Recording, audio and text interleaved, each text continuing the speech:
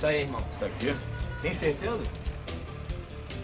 Faz o seguinte aqui contigo. Dá uma olhada nos álbuns aqui. Tem uma índia que linda, cara. Índio, caralho, parceiro. Faca na caveira, irmão.